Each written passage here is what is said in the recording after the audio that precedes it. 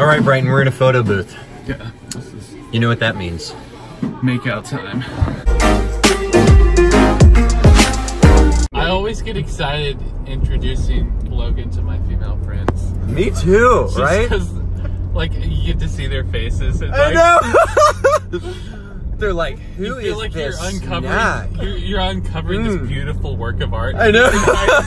It's like showing off your new car to someone. Like it's just they're like, oh my gosh, this is amazing. hiding out in Blackstone, just like There's always this concern when you're introducing Logan, because like to a girl you like, because yeah. you know he's kind of Mr. Stereo Girl in a way. Right. You gotta, So, gotta talk him down, like Yeah. like he never learned school. Like hmm You know, you know they were homeschooled. you got to add the butt. You know, really, his mom like just didn't. They you know. didn't even teach school. the rash. It's kind of like ed. he puts ointment on it twice a day, but it's been getting bigger. It's been really bad. He's from Abu Dhabi.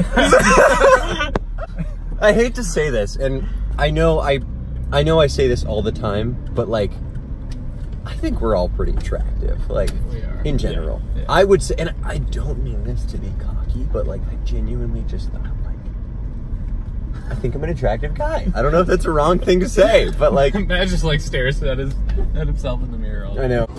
What's going on, guys? We are in the basement of a coffee shop, and they have an arcade. We're gonna play some foosball. Let's go. All right, Brighton, we're in a photo booth. Yeah, this is You know what that means. makeout time.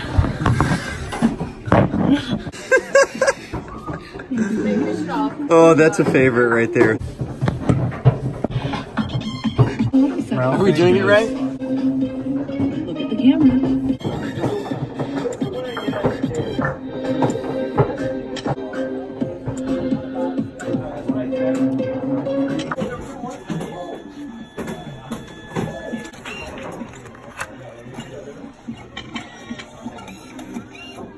Hey,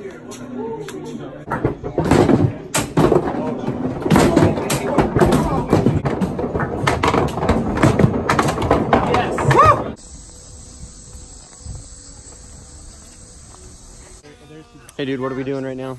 Frisbee. Frisbee? Okay. Frisbee.